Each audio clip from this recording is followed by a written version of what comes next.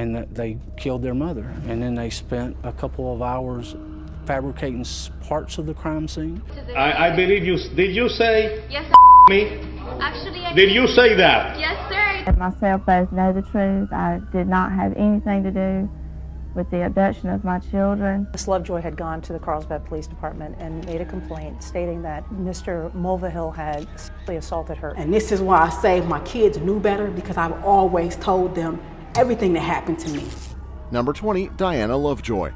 Diana Lovejoy's journey through the criminal justice system captivated the public's attention due to her dramatic reaction upon receiving a life sentence.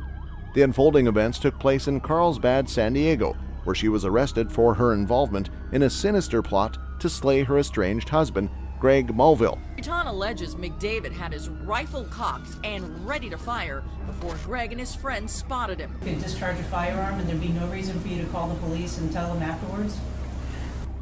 The shooter insists he's such a good shot that if he wanted the ex-husband dead, he'd be dead now. He had to go through numerous psychological evaluations. He had to see psychiatrists, psychologists. Miss Lovejoy had gone to the Carlsbad Police Department and made a complaint stating that Mr. Mulvihill had sexually assaulted her, and they ended up determining that actually he was the, the better parent of the two. About the time I realized what I was looking at, um, it felt like I had been hit in the back. Their tumultuous divorce battle had reached a boiling point, leading Diana and her accomplice, Weldon McDavid Jr., to conspire against Greg's life. Throughout the trial, emotions ran high as the courtroom began a battleground of intense legal proceedings. The tension climaxed when the verdict was read, and Diana's reaction left everyone in astonishment. Overwhelmed by the weight of the sentence, she collapsed, fainting right there in the courtroom. Paramedics promptly rushed to her aid, and she was carefully carried away on a stretcher. Diana's extreme response vividly portrayed the inner turmoil and emotional tumult she experienced at that defining moment.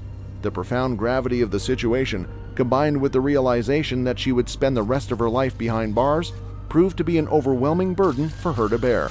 He was simply trying to help stop molestation of a three-year-old. The gunman, lying in the sniper position, shoots six to seven more rounds. The next thing I remember was starting to run. She said that she suspected that Mr. Mulvihill was molesting her boy. Unanimous conclusion was that he, this was made up, that he had not molested his little boy. I fired six shots in the air, and once they started running, I ceased fire. Diana Lovejoy sets about looking for someone, and she finds that someone when she finds Mr. McDavid. Marines are taught if they wanted to kill someone, two to the center, mass, one to the head. I didn't call them because I knew that they would view that as me discharging a firearm. Number 19. Mitchell Blair. The case of Mitchell Blair is a deeply disturbing and tragic one that shook both the court and the community. Michelle Blair, a mother of four children, shocked everyone when she took the lives of two of her own kids. We could see where Nikki's bare feet exited and re-entered uh, through that door in blood. That definitely did happen to me. That's why I know exactly how would have grew up. I, I, don't believe anything they say. I, everything they said, whether it had some truth or fiction uh, in it. You get what I'm saying? So all I could do is go back and sit in my room and just sit there and look stupid. I'm a kid. I think I picked up a knife and I stabbed her. Where did you stab her? I think I stabbed her in the stomach. So do you believe that the, the violent person you went on to become is a, you were a product of your own childhood? Kind of like a joint effort. I try hard to get over that, but anybody who knows me, that touching the kids, the molesting, that no. The bodies of her one-year-old son named Stephen and her 13-year-old son named Stony were tragically discovered in a freezer, causing immense grief and disbelief. During the court proceedings, Mitchell Blair's behavior was erratic and alarming. She repeatedly freaked out, screaming and expressing her reasons for committing the heinous act. At some point in time, you did realize that morning your mom was dead. Yeah. She had so many strokes, and I'm telling you what my problem was always with you. When they were awakened to go to school for their uh, by their mother, and I think that's what sparked the attack. She want to walk around like she big and bad all day. My mama, you, you, you big and bad. Everybody's scared of you. And cleaning it up, and then they went to school so that they would have an alibi. And this is why I say my kids knew better because I've always told them everything that happened to me. And, and even to the point that they said in their writings um, that if they didn't get rid of her soon, You never talked to me about like this, but when I did come to you, you didn't do he interviewed that resident. Uh, he recalled uh, someone yelling. Blair claimed that her daughter had mistreated her other children, which she believed justified her actions. However, despite her assertions, no evidence was found to support her claims. The court proceedings were undoubtedly challenging due to Blair's disruptive behavior. Her outbursts and claims led to her being removed from the court multiple times as her behavior hindered the progress of the trial. It is important to note that the court system aims to ensure a fair and just trial, considering all available evidence and testimonies. In this case, the lack of evidence to support Blair's claims played a significant role in the court's decision. As a result of the horrifying crime she committed, Can you talk me through the, t- the type of abuse that you had to suffer as a kid? You mean sexual abuse? So we would surmise that she was uh, pulled back into the house where the attack resumed. I told my mother what happened to me, and the only thing she said was, "It's over with." So what the you want me to do about it? He heard someone ring his doorbell. He was in bed at the time, and he didn't get up to go investigate. Telling you what happened to me, you didn't do about it, and plus I still had to see the person coming in and out my house. You still friends with that person. I think I, I had her, her hands, I guess her feet. I mean, everybody have choices, so I can't just blame all that on my mom because I was still an adult. She was heavy. We just put it in. The water was turned on. Michelle Blair received a life sentence without the possibility of parole.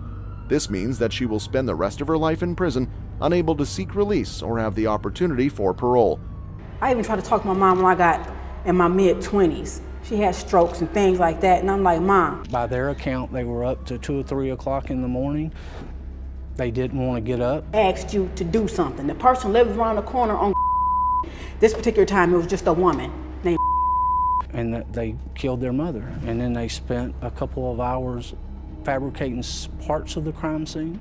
But when I come to you with some real and I tell you what happened to me, you didn't walk your around that corner and do to that woman. And they would write back and forth to each other how much they disliked their mother. I told them why because I don't understand why it took me so long to tell my mom when I was a kid. This was an act of rage. It was the two girls had planned for this event. Number 18, Penelope Soto. Penelope Soto, a young woman from a wealthy background, found herself in a bond hearing, facing charges that had brought her before a judge. However, her behavior during the proceedings would leave a lasting impression on all those present in the courtroom. As the judge addressed Soto, explaining the purpose of the hearing and the seriousness of the charges against her, her demeanor seemed far from respectful. Instead of showing the appropriate decorum, she exhibited disrespectful behavior that shocked those in attendance. She audaciously laughed at the judge and even made derogatory remarks about his Cuban descent, revealing a callous disregard for. Yes. And uh, do you understand that convicted felon? All right, I understand you're eligible for pretrial service. Yes. Any objection? As Your Honor, going to appoint us on the felony case as well, we're not appointed on that. I'm appointing you for the contempt. You working? Yes. How much money you making a week approximately? Approximately about 200 bucks a week. ill-advised, inconsiderate behavior at the time of the bond hearing. Go ahead. Car. Well, how, how, how, uh, how much you, would you say your jewelry is worth? Because of that, you could be found in criminal contempt of court. As I told you before. Okay, but it's, you know, Hey, well, kind you of, see, you know, we, are not in a, we are not in a club. Be serious about it. I'm serious about Oh, it. you're it's supposed to maintain a job. Very difficult time. You understand that?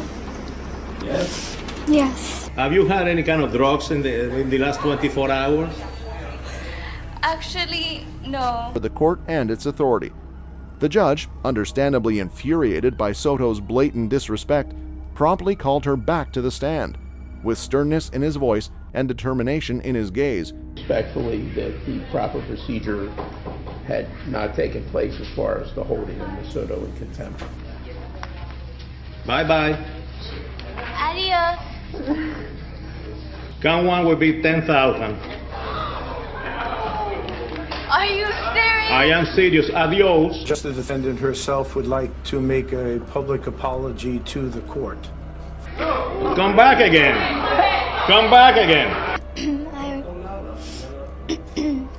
yes, I understand completely, and I apologize. He doubled her bond, understanding that her behavior needed to be met with appropriate consequences.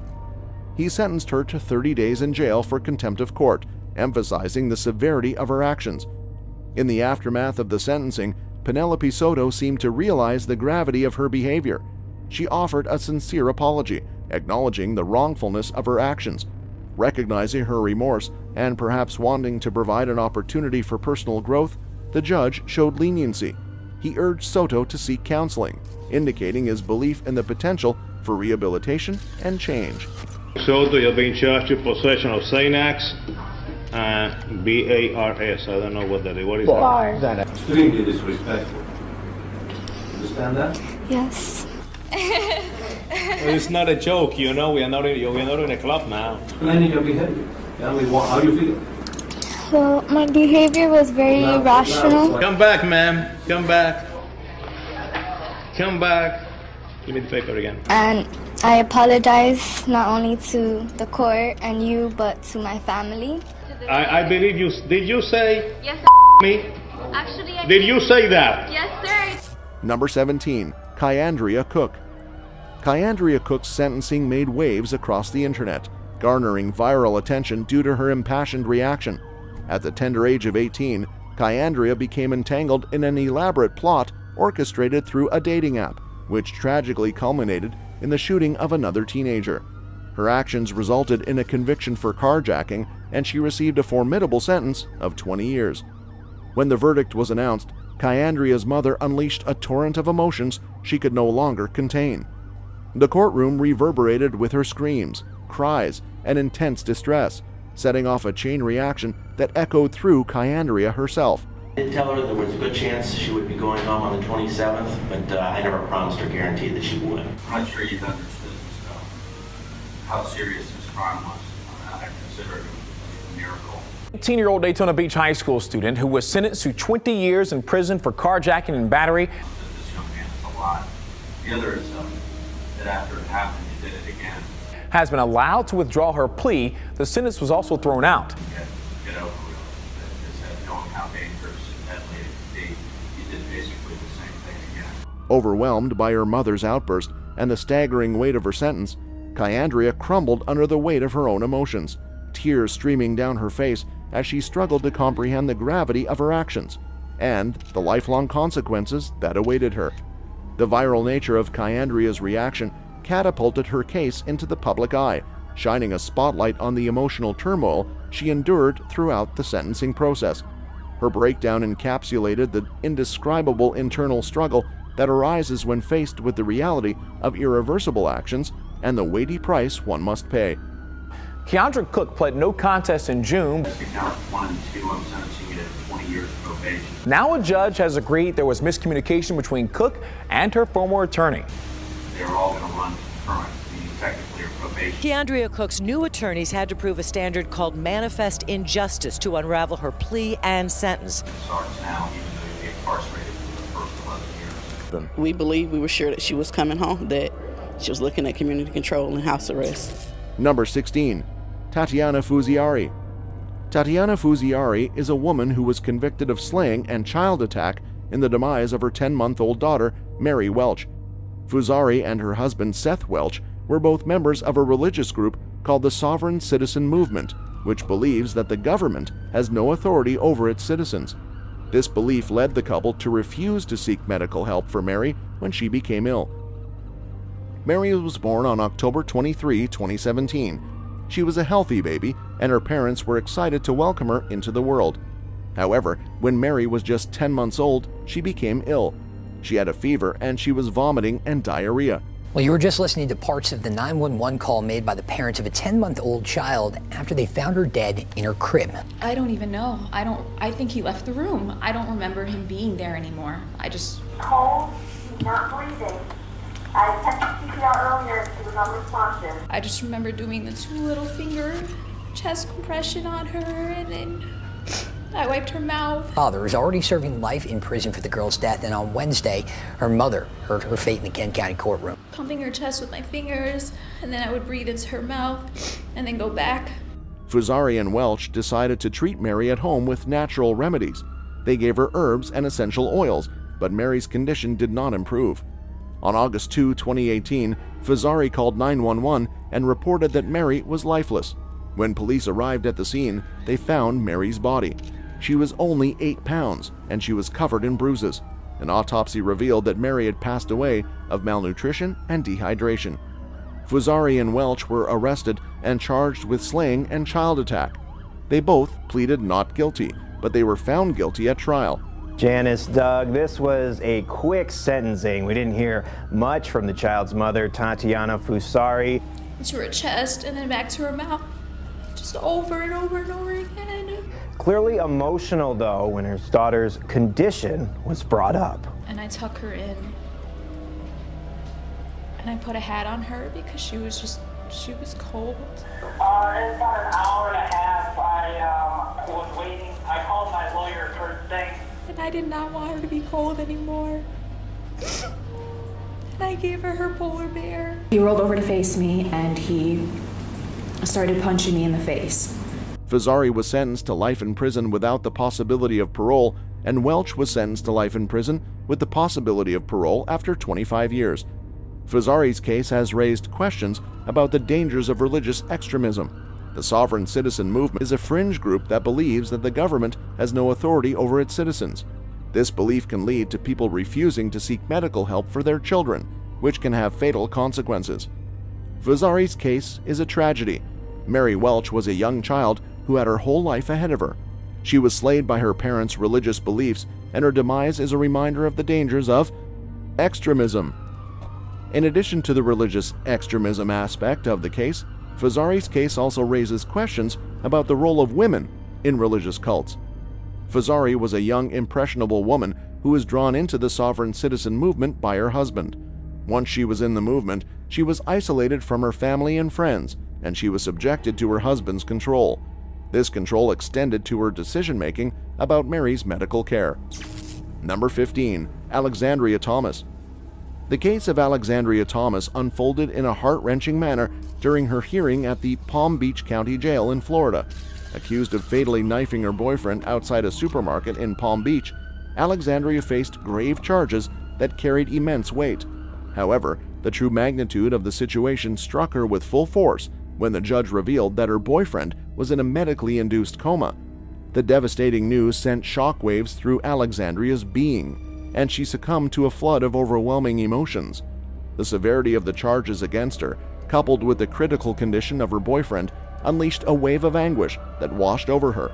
The presence of her mother, who shared in her daughter's torment, stabbed in front of a building on East 10th Street in Alphabet City last night.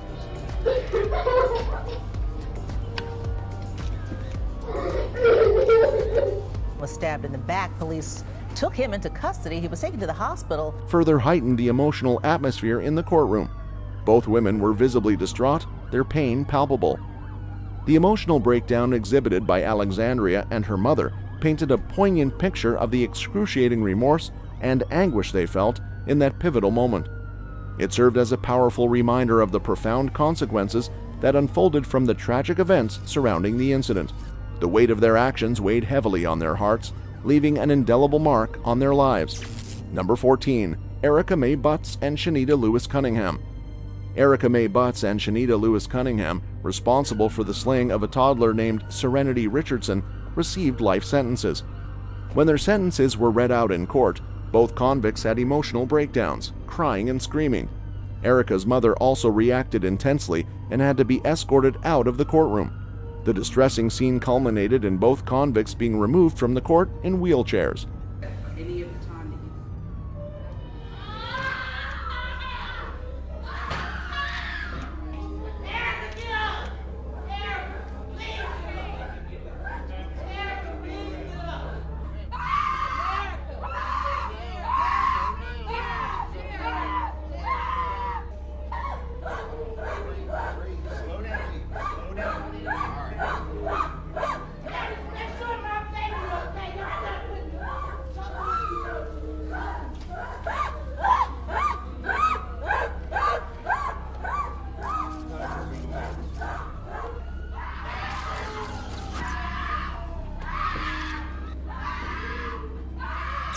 Number 13. Regina Johnson.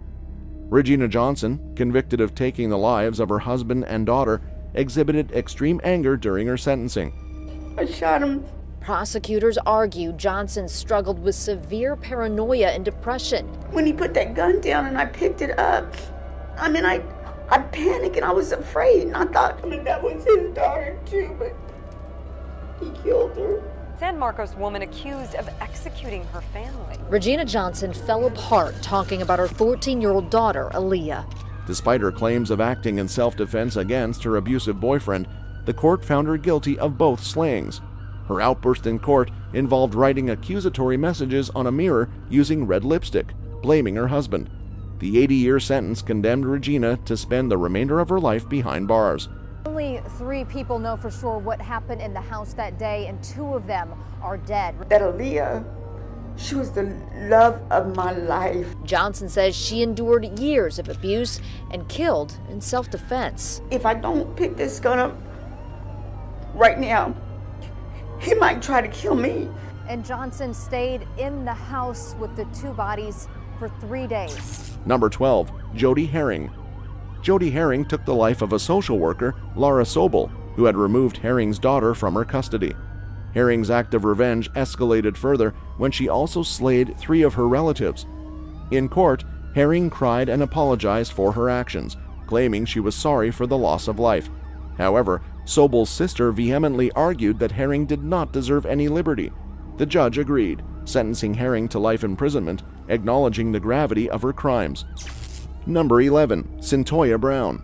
Cyntoia Brown was a 16 year old girl who was convicted of slaying and sentenced to life in prison without the possibility of parole in 2004. Brown was a victim of trafficking, and she claimed that she shot Johnny Allen, the man she was convicted of slaying, in self defense. Brown's case drew national attention, and she was eventually granted clemency by Tennessee Governor Bill Haslam in 2019. Brown was born in 1988 and raised in Nashville, Tennessee. Her mother was a drug addict and her father was absent from her life. Brown was physically attacked by her mother's boyfriend at a young age, and she ran away from home when she was 13 years old. Brown was homeless and turned to bodywork to survive. In 2004, Brown met Johnny Allen, a 43 year old man who offered to pay her for physical favors. Brown went to Allen's house and she shot him to sleep. Brown claimed that she shot Allen in self defense, and she said that she thought he was going to harm her. Brown was convicted of slaying and sentenced to life in prison without the possibility of parole. Her case drew national attention, and many people believe that she had been unfairly convicted. Brown supporters argued that she was a victim of trafficking and that she should not have been held accountable for her actions. In 2019, Tennessee Governor Bill Haslam granted clemency to Brown. Haslam said that he believed that Brown had been rehabilitated and that she deserved a second chance. Brown was released from prison on August 7, 2019. Since her release from prison, Brown has become an advocate for criminal justice reform. She has spoken out about her experience as a victim of trafficking and about the need to change the way that the criminal justice system treats young people who are victims of attacks. Brown is also working to raise awareness about the issue of trafficking. Number 10. Tina Brown. Tina Brown was born in 1961 in New York City. She was raised in a middle class family and attended public schools. After high school, Brown attended the University of Pennsylvania, where she studied English literature. After graduating from college, Brown worked as a journalist for several years. In 1994, Brown was convicted of slaying the first degree. She was sentenced to life in prison without the possibility of parole. Brown's case is notable because she was the first woman to be given capital punishment in the U.S. since the penalty was reinstated in 1976. Brown's sentence was later commuted to life in prison without the possibility of parole. Brown has maintained her innocence throughout her imprisonment. She has written several books about her experience, including The Tina Brown Story and The Tina Brown Diaries. Brown has also spoken out against the capital punishment and has campaigned for clemency. Brown's case has been the subject of much debate. Some people believe that Brown is guilty of slaying, while others believe that she is innocent. Brown's case is a reminder of the importance of due process and the dangers of the penalty. In 2019, Brown was granted clemency by President Donald Trump. She was released from prison after serving 25 years. Brown is now living in New York City and is working on a new book. Number 9. Lisa Montgomery. Lisa Montgomery was born on February 27, 1968, in Melvern, Kansas. She was the second of four children born to Judy Shaughnessy and her first husband. Montgomery's mother was an alcoholic and her father was abusive. Montgomery was physically attacked by her stepfather and his friends from the age of 11. She also suffered from mental health problems, including depression and post traumatic stress disorder. In 1986, Montgomery married her first husband, Carl Boman. They had two children together. The marriage was abusive, and Montgomery filed for divorce in 1996. In 1997, Montgomery married her second husband, Kevin Montgomery. They had two children together. On December 16, 2004, Montgomery drove to the home of Bobbie Jo Stinnett, who was eight months pregnant. Montgomery strangled Stinnett to his demise and cut her unborn baby from her womb. Family statement the family said that they will hope that their privacy will be respected. We will never forget the members of the law enforcement who found Bobbie Jo's murder in less than 24 hours. Lisa Montgomery becomes just the third woman scheduled for execution in the federal system. The baby, a girl named Victoria Jo, survived and was returned to her father. Montgomery was arrested the next day and charged with kidnapping resulting in demise. She was convicted in 2007 and given capital punishment. Montgomery's ending was scheduled for January 13, 2021. However, her ending was delayed several times due to legal challenges. On January 13, 2021, Montgomery was executed by lethal injection at the Federal Correctional Complex in Terre Haute, Indiana. She was the first woman to be executed by the federal government in the U.S. since 1953. Montgomery's case has been controversial. Some people believe that she was mentally ill and should not have been executed. Others believe that she was a cold blooded slayer who deserved to die.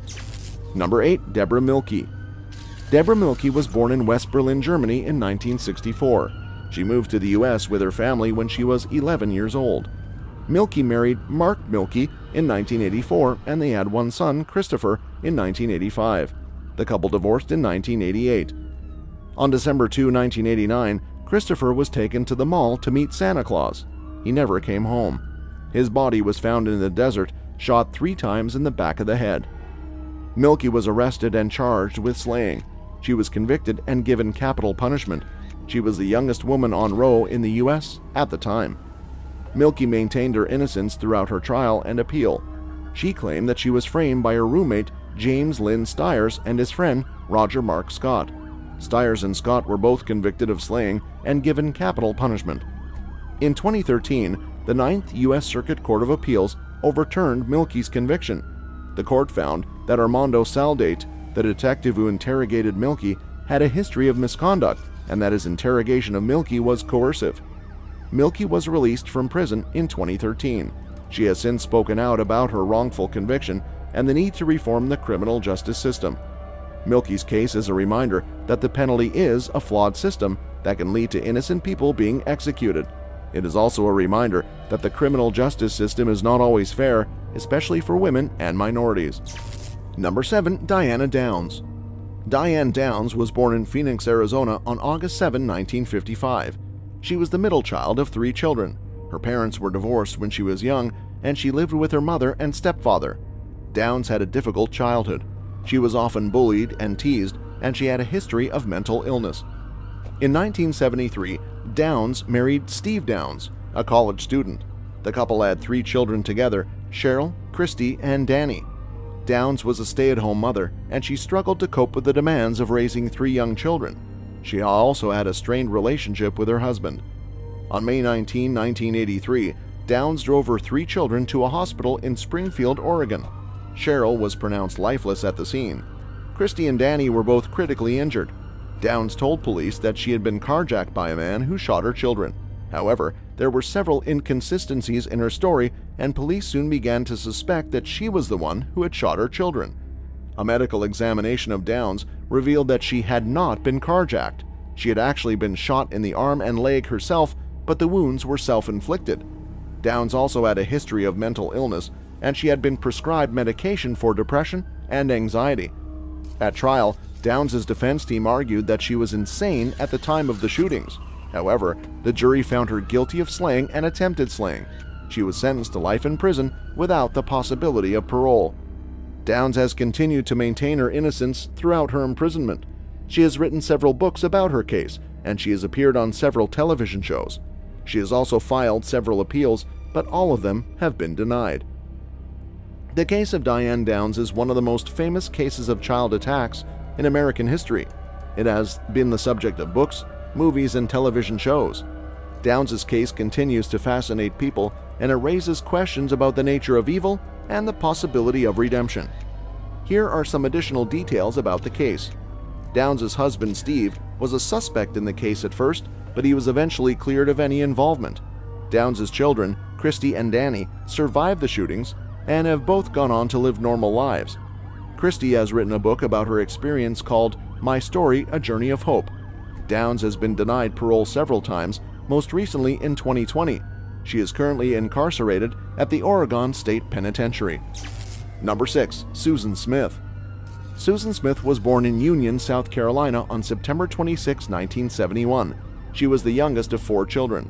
Her parents divorced when she was young, and she lived with her mother and stepfather. Smith had a difficult childhood. She was often bullied and teased, and she had a history of mental illness. In 1991, Smith married David Smith, a salesman. The case received national attention. Susan Smith Smith. and her then husband David appeared on national news pleading for their boy's safe return. We say 25 years, JR, but to South Carolinians, it really doesn't feel like it was that long. From some, I can see from their side uh, why they have to do the things they have to do. The couple had two sons together Michael, who was born in 1992, and Alexander, who was born in 1994. Smith was a stay at home mother, and she struggled to cope with the demands of raising two young children. She also had a strained relationship with her husband. On October 25, 1994, Smith reported to police that her vehicle had been carjacked by a black man who drove away with her sons still inside. For nine days, she made dramatic pleas on national television for their safe return. However, following an intensive investigation and a nationwide search for them, she confessed on November 3, 1994, to letting her car roll into nearby John D. Long Lake, drowning them inside. Her motivation was reportedly to facilitate a relationship with a local wealthy man named Tom Findlay. Smith was arrested and charged with two counts of slaying. Got this mother who claims that her car was carjacked with her two small children inside. Myself both know the truth. I did not have anything to do with the abduction of my children. Immediately, I said to the SLED spokesman, Come on, you got to be kidding me. Well, nothing she said there was true. The boys were found in their mom's car inside John D. Long Lake. Called and asked for assistance, so we sent a team over, and one of the first agents that went over was a forensic artist. She was found guilty and sentenced to life in prison without the possibility of parole. She has maintained her innocence throughout her imprisonment. The case of Susan Smith is one of the most notorious cases of child attacks in American history. It has been the subject of books, movies, and television shows. Smith's case continues to fascinate people, and it raises questions about the nature of evil and the possibility of redemption.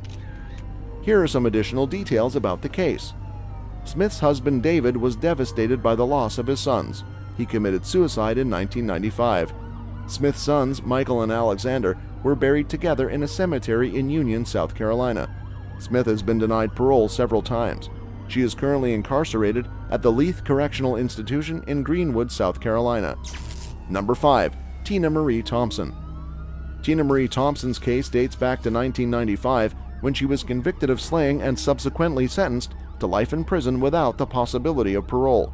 The significant aspect of her case is that she was accused of slaying her husband, a circumstance that added to the intrigue surrounding the trial.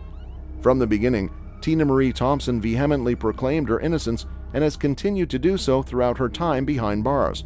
Her defense team argued that she was wrongly accused and pointed out several inconsistencies in the evidence and witness testimonies presented during the trial. During the investigation and subsequent trial, the prosecution argued that Thompson had a motive to slay her husband, citing financial troubles and marital discord as potential factors. They presented circumstantial evidence, including phone records and financial records, attempting to link Thompson to the crime. Additionally, the prosecution relied on witness statements and forensic evidence to support their case. However, Thompson's defense team countered these claims, asserting that the evidence against her was insufficient to establish guilt beyond a reasonable doubt. They highlighted the lack of direct physical evidence tying Thompson to the crime scene and emphasized the possibility of alternative suspects. perpetrates acts of violence against almost anyone he comes in contact. Print on her chest, and her right hand was tied with evidently a piece of her shirt. Some similar inducement which would appeal to very young children.